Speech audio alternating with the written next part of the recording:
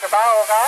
मेहमान सूफी की आने की खुशी में आतिशबाजी का एक खूबसूरत नज़ारा खूबसूरत नज़ारा और आने की खुशी में खूबसूरत नज़ारा हो रहा है।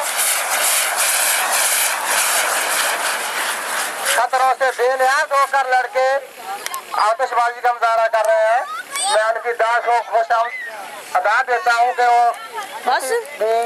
खबर जलाते हुए